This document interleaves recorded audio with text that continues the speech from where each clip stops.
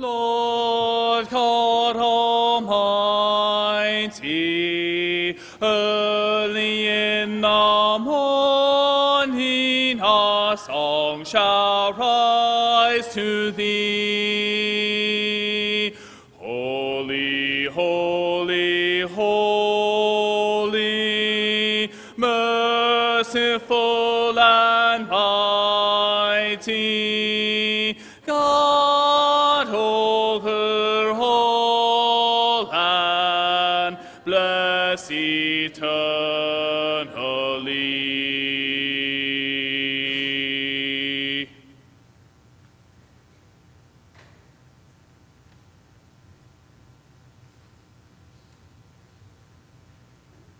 Morning, everyone.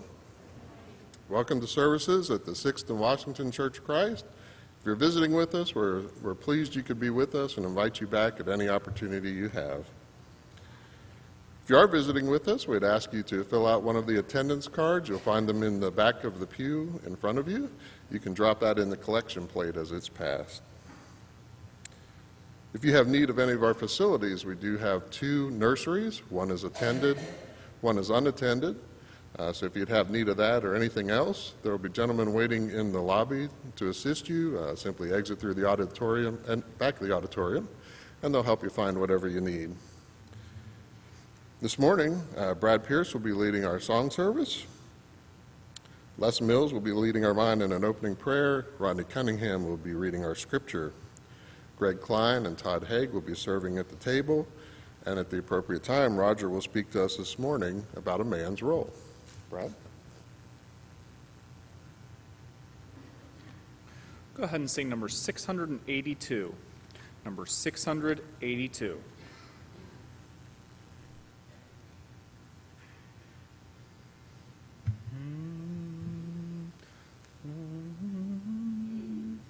Bind us together, Lord, bind us together with cords that cannot be broken. Bind us together, Lord, bind us together, Lord, bind us together with love. There is only one God, there is only one King, there is only one body. That is why we can sing.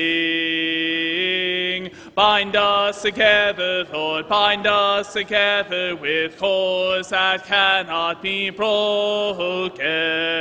Bind us together, Lord, bind us together, Lord, bind us together with love.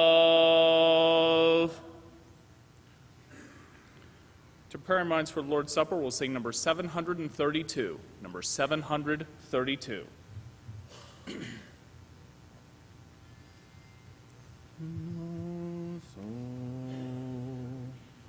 Were you there when they crucified my Lord?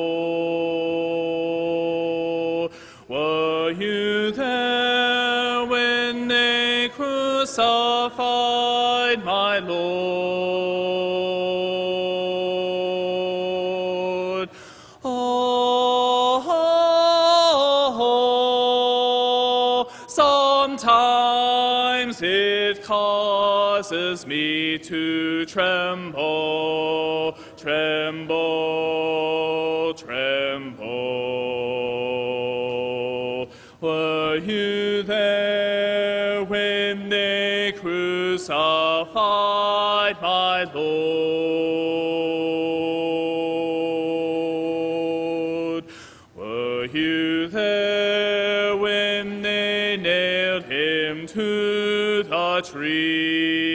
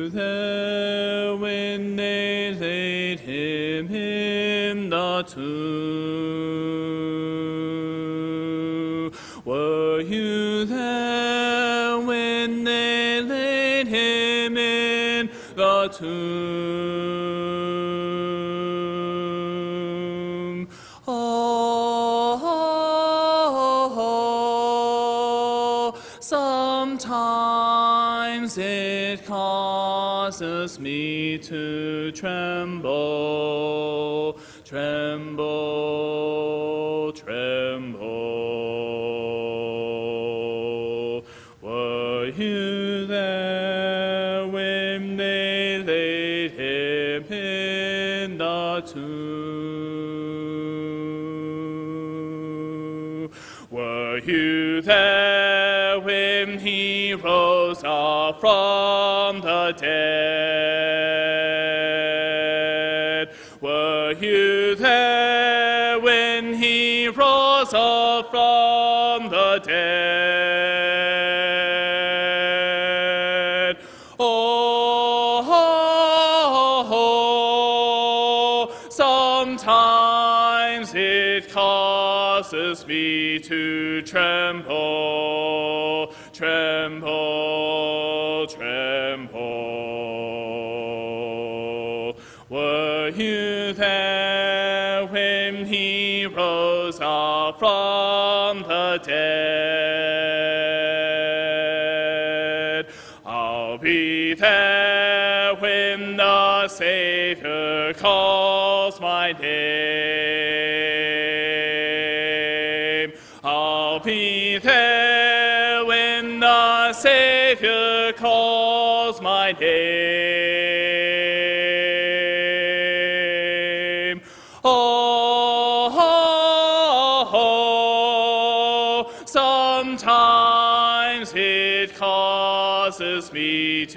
Tremble, tremble, tremble. I'll be there when the Savior calls my name.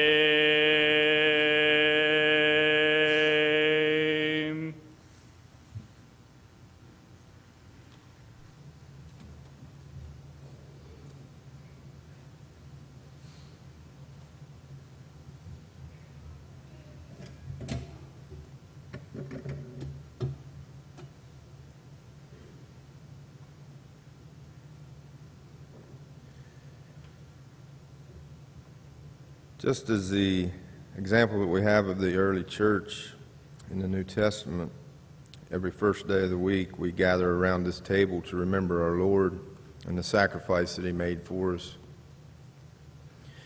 We have the unleavened bread that represents His body that hung and died on the cross, and the fruit of the vine that represents the blood that was shed there that day. And it's through this that we remember Him every week and the great sacrifice which He made. Please bow with me now as we give thanks for the bread? Dear God, our Father in heaven, we thank you so much for your Son and his willingness to come to this earth to be a sacrifice for each and every one of us.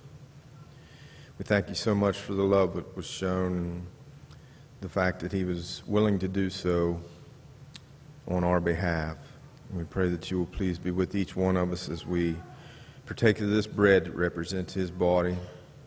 Help us to do so in a manner that is pleasing in your sight and keep our minds focused on him and the things that we should. And it's in Christ's name which we pray. Amen.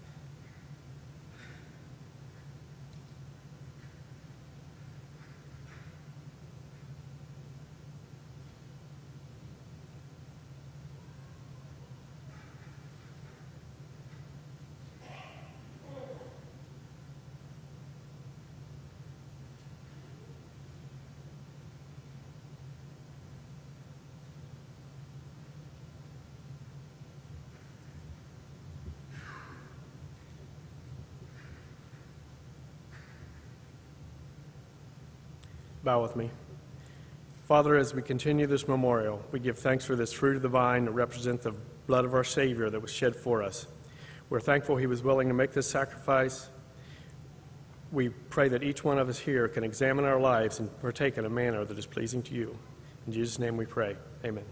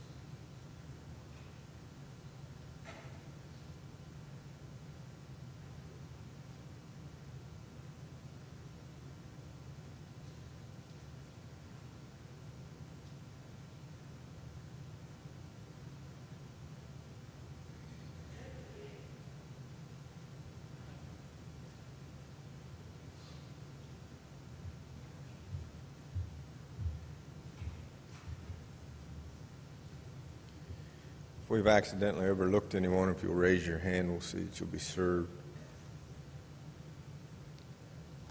Though it's not a part of the communion service, this is a convenient time for us to follow another example of the early church as we give as we've been prospered. Ask that you will please bow with me again at this time. Dear God, our Father in heaven, we thank you so much for all the many blessings that you richly bestow upon us each and every day of our lives. We know that everything that we have comes from you, and we thank you, Lord, for showering us with the many blessings that you do. Father, we pray that you will please be with each one of us now as we give back a portion of the material blessings that you have blessed us with. We thank you for our means of income, which we have, and we pray that you will please be with each one of us as we give back a portion to the church here. Help us to do so with a cheerful heart. For it's in Christ's name that we pray. Amen.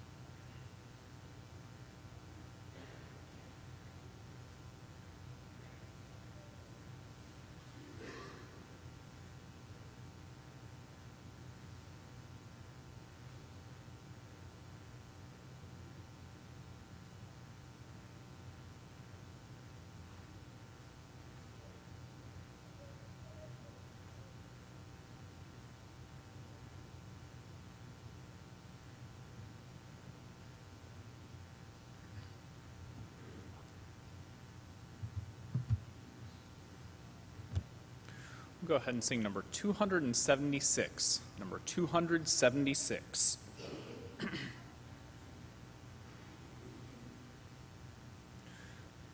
Do. I'm pressing on the upward way, new heights I'm gaining every day. Still praying as I onward bound, Lord, plant my feet on higher ground. Lord, lift me up and let me stand by faith on heaven's table land, a higher plane than I have found. Lord, plant my feet on higher ground. My heart has no desire to stay where doubts arise and fears dismay. Though some may dwell where these abound, my prayer, my aim is higher ground. Lord, lift me up and let me stand by faith on heaven's table land, a higher plane than I have found. Lord, plant my feet on higher ground. I want to live above the world, though Satan's darts at me are hurled. For faith has caught the joyful sound, the song of saints on higher ground. Lord, lift me up and let me stand by faith on heaven's table land, a higher plane than I have found. Lord, plant my feet on higher ground. I want to scale the utmost high and catch a gleam of glory bright. But still I'll pray till heaven I found. Lord, lead me on to higher ground. Lord, lift me up and let me stand by faith on heaven's table land, a higher plane than I have found. Lord, plant my feet on higher ground. If you're using your psalm books and like and turn to mark the song after the lesson, that will be number 600, number six, 600. And then you're going to need to have your psalm books for this next one. It will be number 555. Number 555. And if you're able to, please stand with me.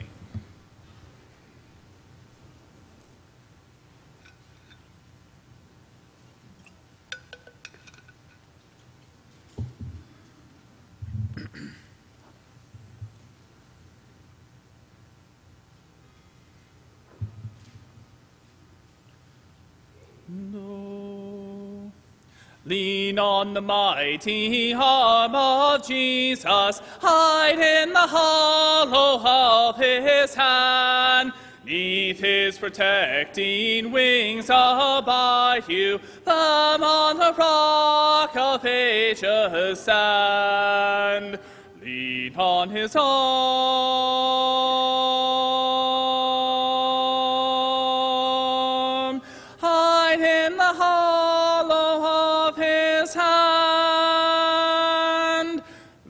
Lean on his arm.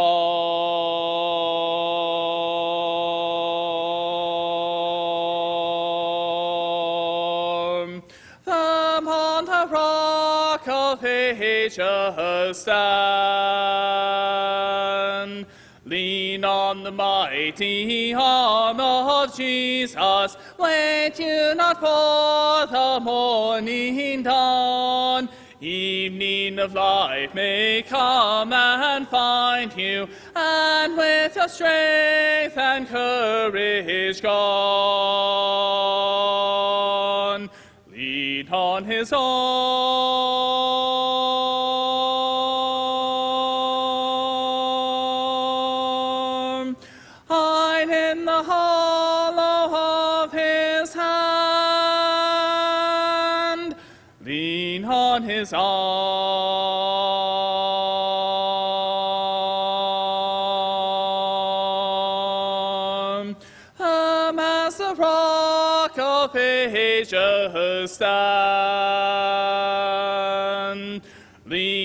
The mighty arm of Jesus, for 'tis the only refuge sure. Let not another's invitation now from this hope your soul allure. Lean on his arm,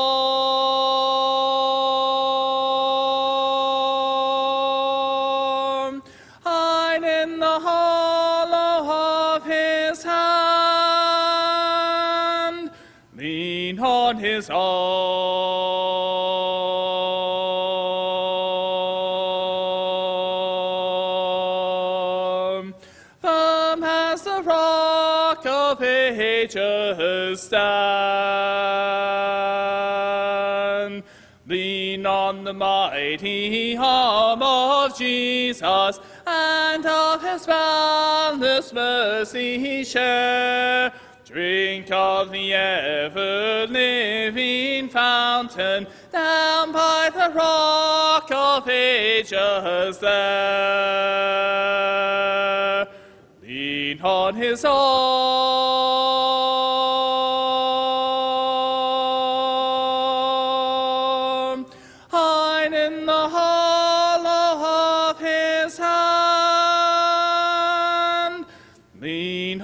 on his arm.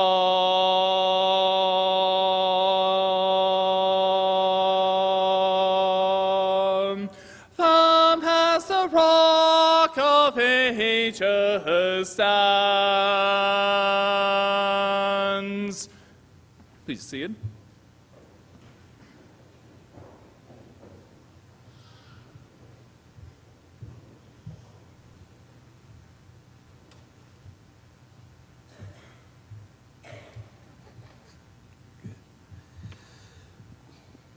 Bow with me, please.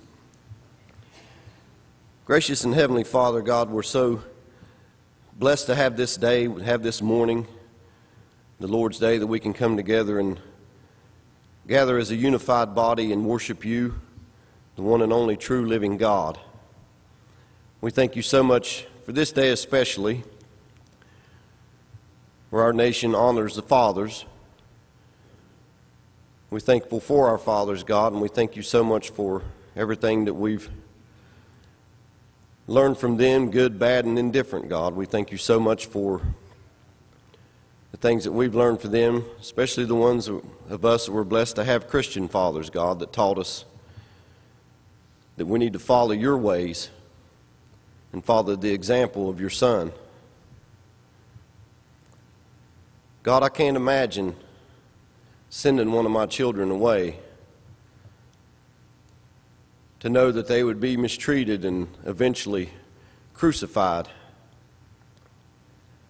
What a loving Father you are that you've done that for us by sending your Son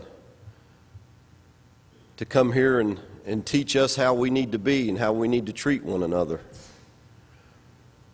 And the thanks he got for it, God, was he was nailed to a cross for it before they beat him unmercifully and mocked him. You tell us you'll never forsake us or leave us. But in that instance, you had to forsake your son and let that happen to him. What a wonderful and loving Father you are. And as Christians and as fathers, I can't imagine the disappointment you must have when most of this earth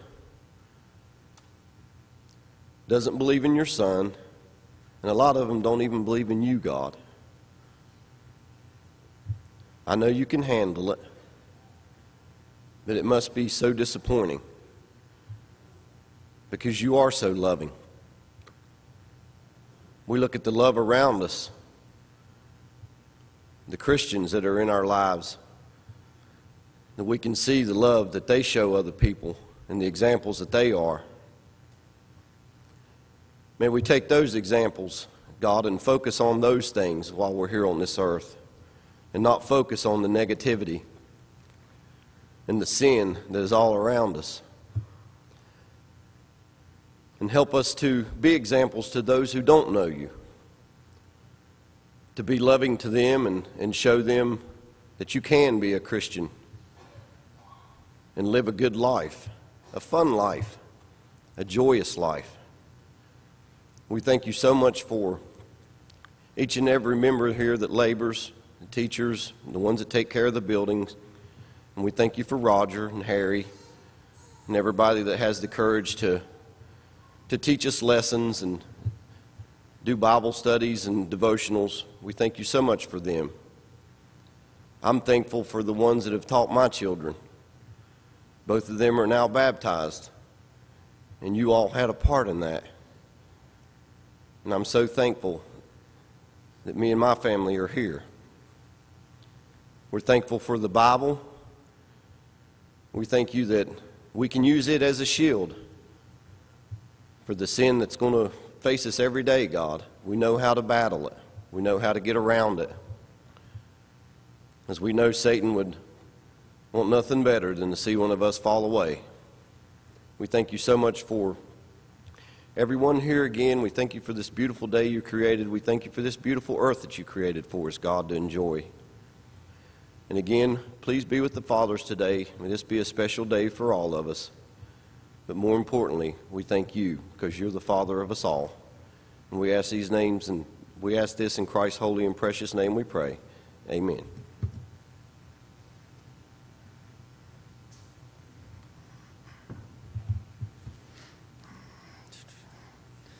Today's scripture reading will be from the book of Ephesians, Ephesians 5:21 to chapters 6 verse 4. Submitting to one another in the fear of God. Wives, submit to your own husbands as to the Lord. For the husband is the head of the is the head of the wife is also Christ is the head of the church, and he is the savior of the body. Therefore, just as the church is subject to Christ, so let the wives be to their own husbands in everything.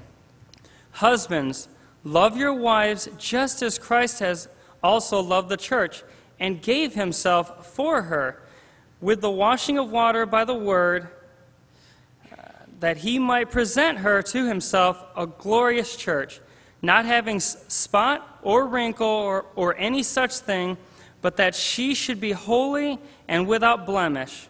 So husbands ought to love their own wives as their own bodies. He who loves his wives, or he who loves his wife, loves himself. For no one ever hated his own flesh, but nourishes and cherishes it, just as the Lord does the church. For we are members of his body, of his flesh, and of his bones. For this reason, a man shall leave his father and mother and be joined to his wife, and the two shall become one flesh. This is a great mystery, but I speak concerning Christ and the church. Nevertheless, let each one of you in particular so love his own wife as himself, and let the wife see that she respects her husband. Children, obey your parents in the Lord, for this is right. Honor your father and mother, which is the first commandment with promise, that it may be well with you and you may live long on the earth. And you, fathers, do not provoke your children to wrath, but bring them up in the training and admon- admonition of the Lord.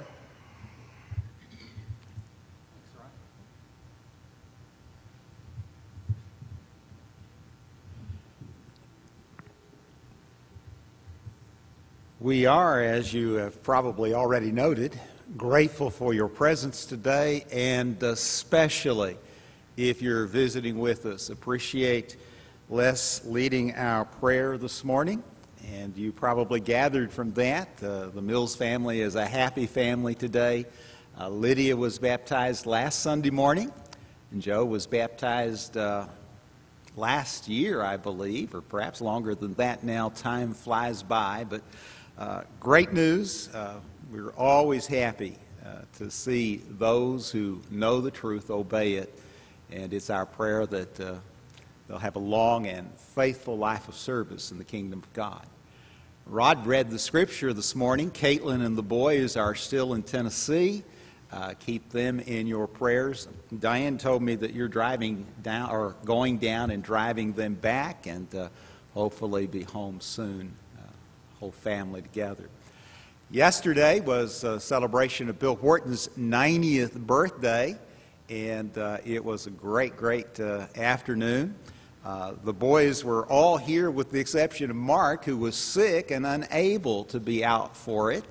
Uh, one of those things that just happens. But Paul and Sylvia headed back to uh, Dallas, Fort Worth area this morning, and Craig and Diane back to the Baltimore area. But Keith and uh, his daughter Shelley are with us this morning. They fly back to the Oakland area later this afternoon, but it's good to see them here with us this morning. I want to mention that uh, Dennis and Kathy Dye are visiting today. They bought a home in Marietta. Uh, Dennis will be retiring next spring, and they'll be moving back to this area. They're seated in Left Church about, uh, well, I, I thought they were in Left Church. I don't see them now. They may, oh, yeah, Left Church far, far to my right. Dennis, would you and Kathy mind standing because I know you're not bashful and I want people to see you. Greg's mowing their lawn, and if Greg doesn't mess up and drive them away, they'll be with us uh, when they move back to this area next year. But hopefully, you'll get to know them. Uh, Dennis was an elder in the church at Bridge Street in New Martinsville. Uh, his mom and dad, Willis and Juanita Dye, when I first moved here many, many, many years ago, were frequent visitors to our assemblies and uh, great servants in, in the church. So get to know uh, Dennis and Kathy as soon as you can. Encourage them uh, to move here as quickly as possible. Appreciate Brad leading our singing today. Tim, who normally leads our singing, is in Texas on business uh, today uh, through the week. We'll be back here next Sunday. Uh, Todd did a great job in Bible class, and this coming Lord's Day and the following, uh, Brad will be teaching from Hebrews chapters 4 and 5.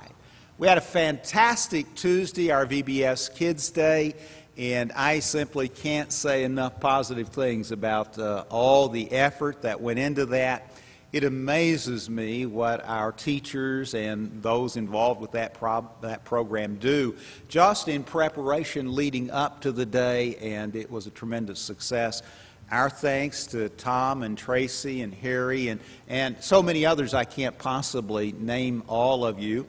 Uh, Kathy, I know Kathy Gerber and uh, Darlene Ogletree actually took vacation in order to come and, and be a part of that program. And uh, we appreciate the commitment and the sacrifice of everyone. And I know the kids uh, really benefit from it.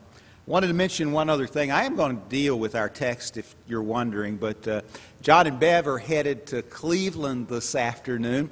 Uh, Josh has won an award for a film that he's produced, and uh, I understand it must be quite good if he's gotten an award for it. And uh, if you'd like to know more about that, you see uh, John and Bev, and they'll be happy to tell you all about it.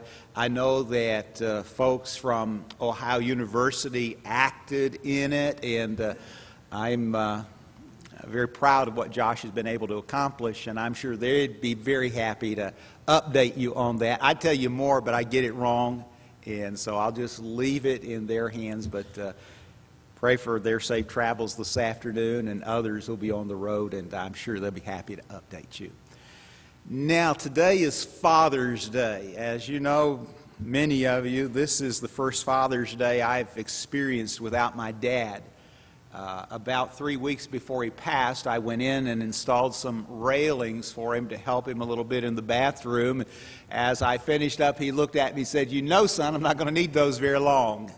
He lasted uh, three weeks afterwards, but they were three of the best weeks of his life. And, you know, as I think about this day, I have no regrets. I'm thankful that I had the kind of father that Todd described in Bible class this morning. There was no counting. Uh, he spoke and I listened, or I regretted that I didn't listen. That's the way it was growing up. I don't know if you recognize the family on the board behind me or not. If you are my age, you can identify them without any difficulty at all. If you're younger, you may struggle. But this is the Anderson family Jim, Margaret, Betty, Bud, and Kathy, or Kitten, as his, her dad often called her. They were the epitome of the wholesome family in America when I was a youngster. And when you watch this television program, Father Knows Best, every episode taught a valuable lesson. I was thinking as, I thought about this particular presentation and, and the picture that I wanted to represent uh, family today, that the only modern equivalent would be the Simpsons. Quite frankly, that's the truth. A survey was done not that long ago, within the last 10 years, regarding the portrayal of families on television and fathers in particular. And guess who won out as the best father? Homer Simpson. Seriously, you know they worship on a regular basis the Simpsons? And they talk about God. Now, what Homer says is usually not worth hearing but at least he makes the effort. In so many homes today, that's not the case. God is simply not a part of the modern family. And the modern family today, if you get my drift, is a family that is in so many ways counter to everything those of us who are Christians and honor the Word of God hold near and dear. And I really believe that many of the problems that we are experiencing as a society today can be directly attributed to the fact that the kinds of homes and families that were represented fictionally by the Anderson family are in very short supply. And the cement that was designed by God to keep a family together and strong and vital isn't found in a lot of homes and families these days. Sadly so. The foundation of marriage, home, and family, as you well know, is love. But it's a certain kind of love described by Paul in 1 Corinthians chapter 13. Now, I have mentioned many times in the past that in the Greek language, there are four words that are translated by our single English word love. There is agape, philia, storge, and eros. And those four words are all encapsulated in the single word love in the English language. That word doesn't really do justice to the concept that is described in 1 Corinthians 13. The word that Paul used in that setting is agape. And it is a word that conveys not just feelings and emotions, but involves our intellect and challenges us to do what is right, even when what is right is not what we want ourselves. And it focuses not so much on how we feel, but how we think. And how our thinking dictates, in turn, how we act. So, Paul describes this kind of love, which is the, the bond of a solid marriage and a good home, as being patient, kind, not envious or boastful, not arrogant or rude. It is not irritable. I'm not always loving, if that's the case, by the way. I get irritable from time to time. I suspect we all do. And we're not being loving when that happens. But we are, and Todd mentioned this several times in our study this morning from Hebrews 3.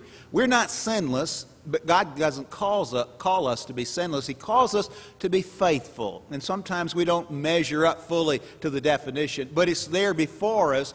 And our goal is to have this kind of love in all of our relationships, but especially in our marriage and family. It doesn't rejoice in wrong, it rejoices in truth. It bears, believes, hopes, endures all things. Now, when you look at this definition, what can you say about the nature of the love that binds home and family together?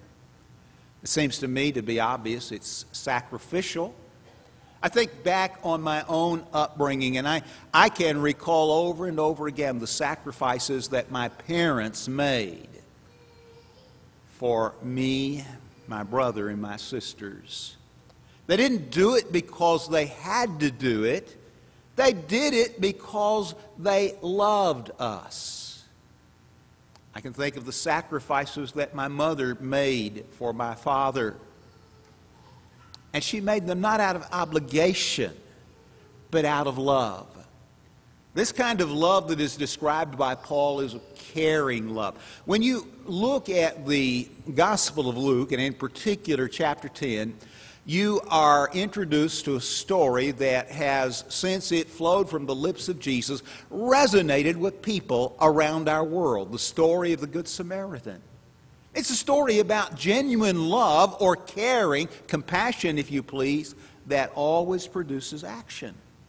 I would submit to you that the kind of love that is described by Paul in 1 Corinthians 13 and the, the cement of marriage and family today is tough love. It makes demands. It has standards. It holds folks accountable. I'll say a little bit more about that later this morning in our message. But the fact of the matter is today, children are not being held accountable because parents are not loving their kids as they should. They are going to the grocery store, the supermarket, the, the pharmacy, and they're climbing the shelves. They're yelling for everything. They're making demands. And parents are not willing to be tough enough to just say, on occasion, no, and mean it. That's a love issue. When you love people the way you should, you want their best. And remember the illustration of the family? Father knows best. Guess what? In the home, children ought not be in charge, and they don't know what is really best. And it's up for parents, it's really up to us to love them enough to say no and give them the kind of direction that young people need in order to mature. It's a compassionate love, very similar to caring. It's also unbreakable. I've told you before, I cannot, under any circumstances, imagine not loving my kids. They can break my heart. They could do things that cut me to the core, but they're my kids. And I can't imagine not loving them. And I say that out of the context of God's attitude toward us. Les in his prayer this morning mentioned the fact that so many in our world don't even acknowledge God. Guess what? He still loves them. And that love is overwhelming, incomprehensible, and unbreakable. If we brought that kind of love to marriage, home, and family, imagine how transformative that would be. Now, I said all of that as introduction so I can spend just a little time with one of the most familiar stories in the ministry of Jesus. It's recorded in Luke chapter 15 amidst the stories of the lost coin and the lost sheep. There is the story of the lost son, the prodigal, if you please. There's a lesson in this story on the responsibility of fathers in the home to be providers, to see that the needs of their families are met. I think everybody acknowledges that that is a role for fathers to for, fulfill. I think sadly some people think it's the only role that they are to fulfill. But we're not only to make sure that the bills are paid and that there's food on the table and, and a roof over our heads. There's a lot more demanded than simply seeing that everybody's fed and clothed. But in this story, as Jesus tells it, this is a home where even the servants are well fed and well clothed. Not just the children, but the servants as well. The servants in the father's house, the young man realized, were doing much better than he himself. Now, let me set the stage for you just in case you don't know the story. This is a home with two sons. The youngest approaches his father with the request, Give me my inheritance now.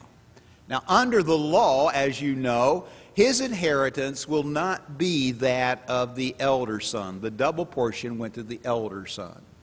The young man is asking that he get the lesser inheritance that would ultimately be due him while daddy still lived.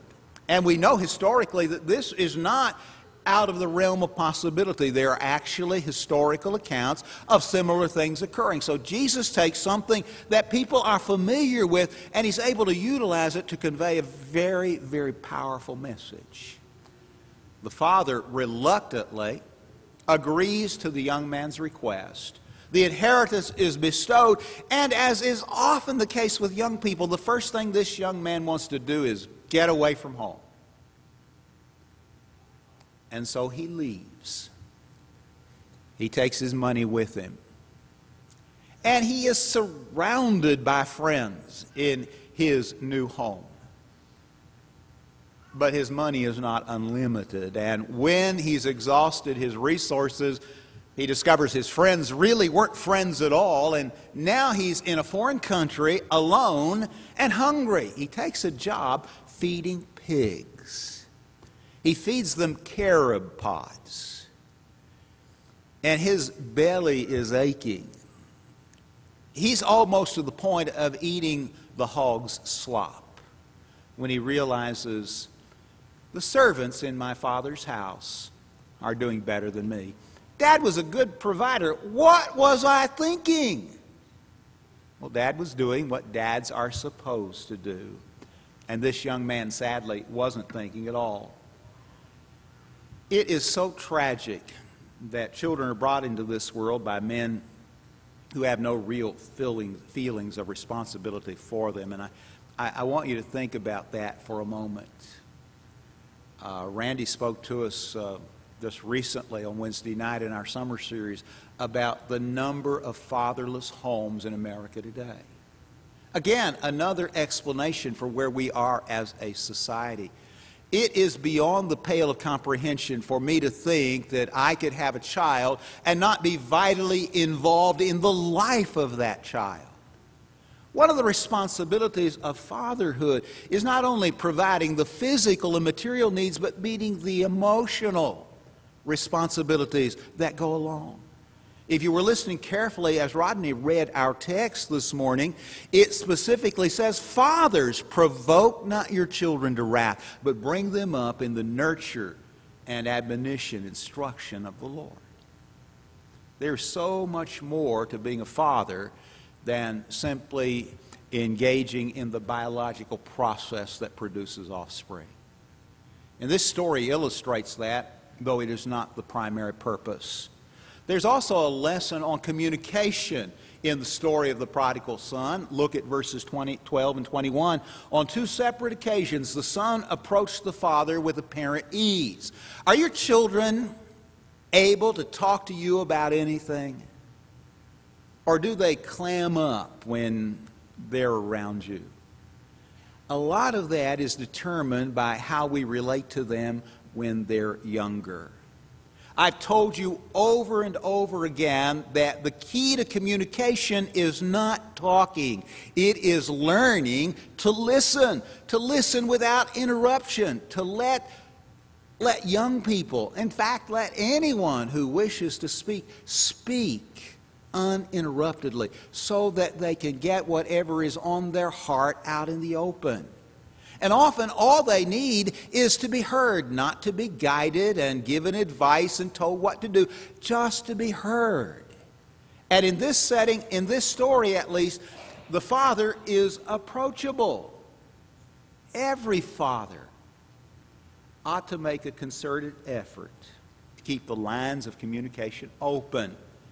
But you know what the three most common statements uttered by fathers are in the upbringing of their children? I'm too tired. We can't afford it. Keep quiet. I kind of toned that one down a little bit because most fathers are not that polite. Isn't that sad? This father was approachable. All fathers need to be approachable. And as we think about Father's Day and our role, I want us to open those lines of communication.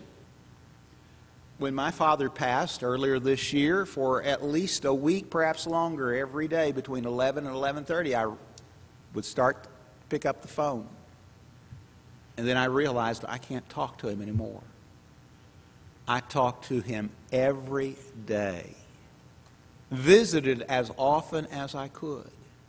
I still miss those conversations. And he was not a conversationalist. He talked more to Bill Wharton most days than he would to me. Bill would go in with me and they'd just sit and go on and on and on. Of course, Bill can carry a conversation, but Dad just loved to visit with Bill.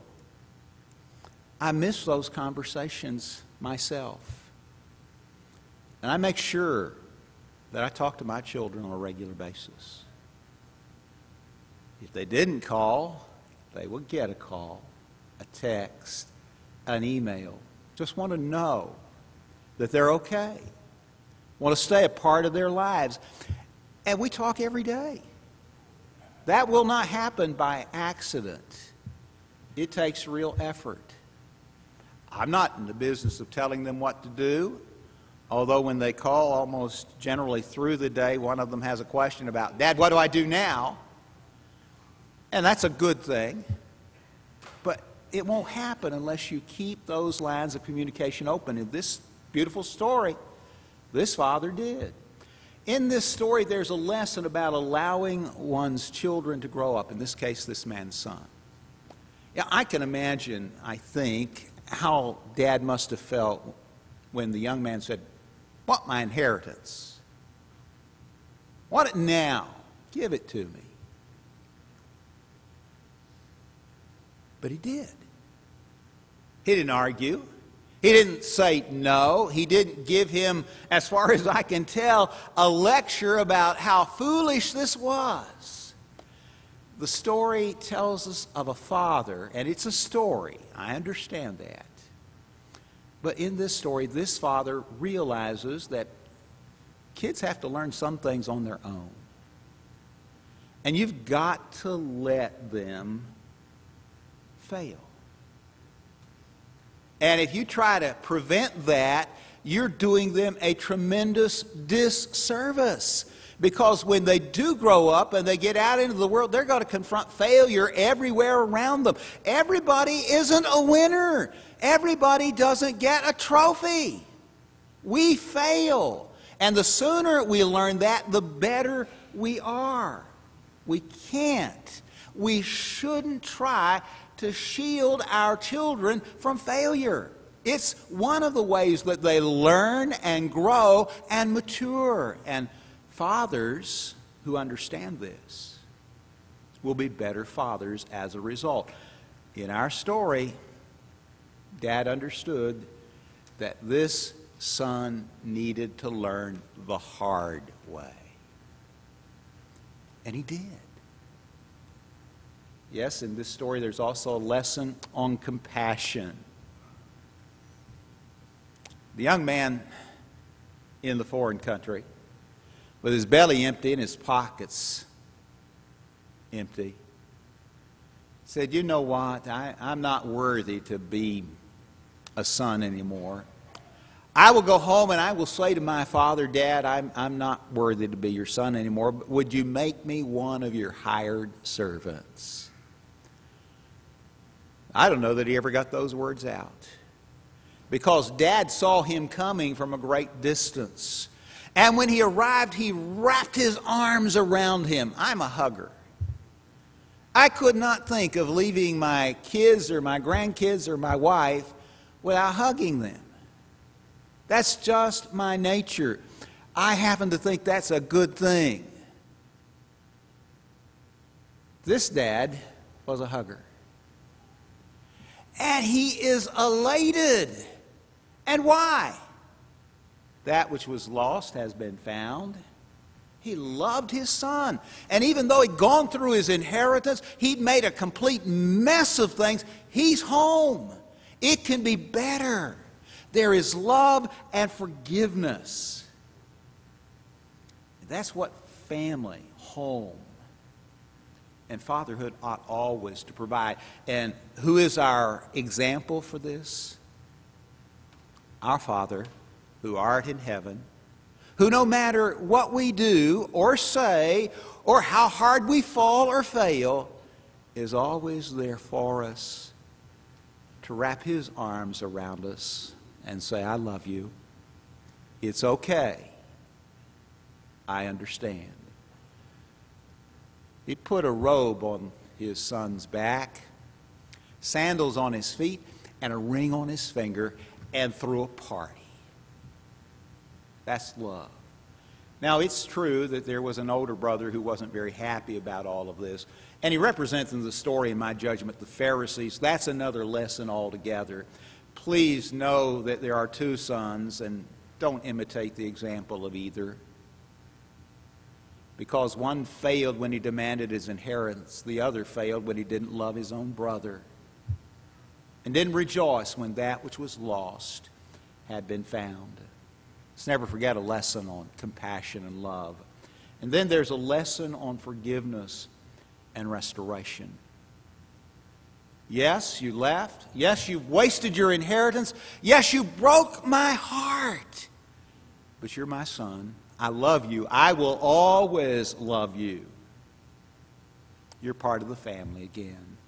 Ephesians 4:32 reminds Christians be kind one to another, tender-hearted, forgiving one another even as God for Christ's sake hath forgiven you. That's the kind of father we all should strive to be, gentlemen. And this is the kind of home that all of us should seek. A home where God is central where God's Word guides our steps, where love rules in our hearts and determines our actions, and where people find the only real safe space there is in America or this world, where you're loved unconditionally, accepted as you are, and you know that there are those you can always count on. Give your children, gentlemen, the thing they need most a good example, a life of service in the kingdom of God. Love them with all your heart. Love their mother with all your heart. And build your life and your relationship on the principles of God's Word. You know, in my 40 some years of preaching, I was never home on Father's Day to be with my dad was only home one Mother's Day for five minutes. My son was on a bicycle, rode into a barbed wire fence, and we headed to the hospital. And to this day, I'll not forget that Mother's Day. But I love my parents. I sought every day they were alive to honor them. And I owe them a debt I can never repay. It is my hope that I can do the same for my children. It's my challenge that we will all be guided by God's Word and lay a foundation that makes for a strong, healthy, happy home and family. And today, as we honor fathers, we can remember that God has a role for us that is vital, and we need to embrace it. We'll sing the song that Brad selected in a moment. If you're not a Christian, let me encourage you to unite your home in Christ. Become a child of God and live according to His Word. If you've done that and you've lost your way, I invite you to come back home. The prodigal did and found the forgiveness of his Father. And we can find the forgiveness of our Father in heaven as well if we will just repent and seek it as His wayward child. You're subject to His call. If there are areas where you need to make improvement, lead determined, resolved to do just that, and to build a life, a home, and a family that will bring glory and honor to God. If we can help you, will you make your desires known as we stand and sing?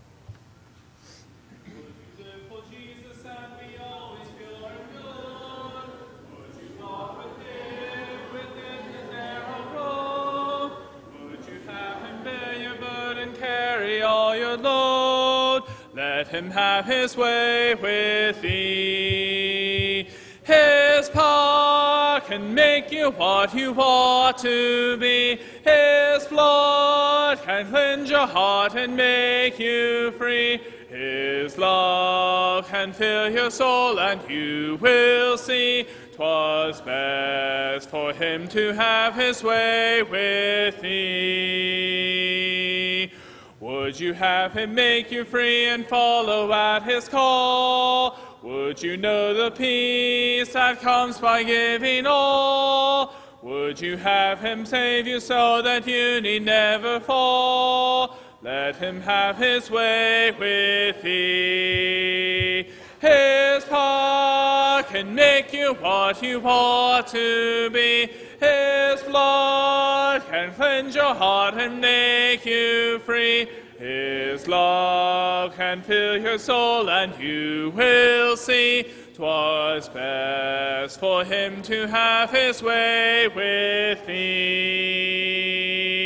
Would you in his kingdom find a place of constant rest? Would you prove him true each providential test? Would you in his service labor always at your best? Let him have his way with thee. His power can make you what you ought to be. His blood can cleanse your heart and make you free. His love can fill your soul, and you will see 'twas best for him to have his way with thee. Please be seated.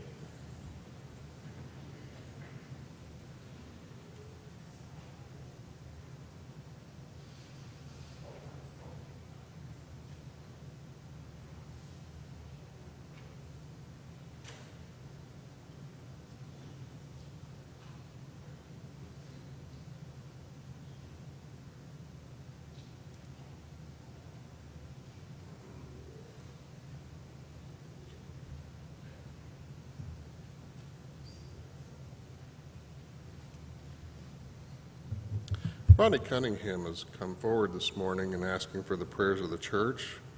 There are challenges, just as all married couples face. You know, we, we, we have things we have to work through, and that's a growing experience we need to go through together. And they're just having some challenges right now that they're, they're needing the prayers of the church, they need our support. And um, so if you join me in a moment of prayer, let's go to God for Ronnie's behalf. Heavenly Father, we're thankful for the avenue of prayer, our opportunity to pour out our hearts and needs to you, the t- opportunity we have to recognize our need and confess it to you. Father, we know that each of us as young couples, there are challenges we face, there are things we need to work out together, there are mountains we need to climb together and get over, and we pray that you'll be with Rodney and Caitlin, help them through these challenges, help them to find a solution that they work on together, help them to grow uh, stronger together through this experience and come out a stronger and healthier couple. Father, each of us face such challenges in our relationships throughout the, the things we do, and we would ask you to be with us in all those things we do and help us to work on those relationships in a way that would please you and glorify you. It's in your Son's name we pray. Amen. Several announcements to share with you this morning. Among those who are ill to keep in our thoughts and prayers, in Youngstown is Raymond Williams, that Williams, sorry, that is Catherine Venom's brother. In Memorial is Carolyn Majors. Ron Vanway was in the hospital and is now home. And Susie Patterson is now at OSU Harding uh, facility. We celebrate uh, the baptism of um, Lydia Mills. Uh, she was baptized last Sunday. So if you've not had an opportunity, please uh, see her and, and congratulate her on that decision and welcome her to the congregation. We extend our sympathies to the family of Esther Abbott. That's Ruth Forsey's aunt. Memorial services will be held Friday, June 23rd at 11 a.m. in the building with visitation from 10 a.m. until the time of services. Again, thank you to all who participated in the VBS Day Tuesday. Uh, There were 34 children in attendance, and it was very well uh, run, and and kids all seemed to have a whole lot of fun. There are some sign-up sheets available in the foyer. Uh, We do need some volunteers to assist with the uh, uh, scheduling pictures for the new church directory. So if that's something you'd like to help with, uh, please stop by and sign up on the sheet. A reminder of the Secret Sister program. Uh, If you would like to participate, there are still sign-up forms. Uh, They're available on the table out in the lobby, and please turn those into the office. If you have any questions, you can see Danetta or Laura today, as Caitlin is not here today. Invite you back for all of our services, anytime you can be with us. Uh, Next opportunity will be this evening at 6:30. Uh, Wednesday, we'll have a 7 o'clock Bible study. We'll- We're currently in our uh, summer series study. And of course, on uh, next Sunday morning, 9 o'clock for Bible study, 10 for worship. Invite you back this evening for Roger. Uh, We'll be speaking on the topic of "The Word Became Flesh." And following our final song, Harry Ogletree will lead our minds in a closing prayer. Brad?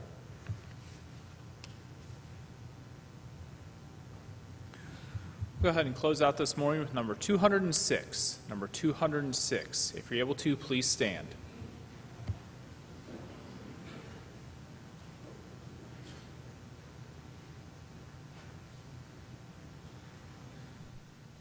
Mm. I am the vine, and ye are the branches. Bear precious fruit for Jesus today. Branches in him, no fruit ever bearing. Jesus has said, He taketh away. I am the vine, and ye are the branches. I am the vine, be faithful and true. Ask what he will, your prayer shall be granted. The Father loved me, so I have loved you. Now ye are clean through words I have spoken. Living in me, whose fruit ye shall bear. Dwelling in you, my promise unbroken. Glory in heaven with me shall share. I am the vine, and ye are the branches. I am the vine, be faithful and true. Ask what ye will, your prayer shall be granted. The Father loved me, so I have loved you. Yes, by your fruits the world is to know you. Walking in love as children of day. Follow your guide, he passeth before you, leading to realms of glorious day. I am the vine, and ye are the branches. I am the vine, be faithful and true. Ask what ye will, your prayer shall be granted. The Father loved me, so I have loved you. We pray with me, please. Dear God and Father in heaven, we are grateful and thankful that we get to call you Father, that you love us so and give us the ultimate example on how to love our own children and those uh, in our lives. Uh, we are grateful for this morning that we get to worship you in spirit and in truth, that we get to encourage each other in this precious faith that we share. And that, Father, we get to grow in all areas, and that uh, regardless of where we are and what age we are, we continue to trust and uh, hope in you and in our Lord, and we are so thankful for that.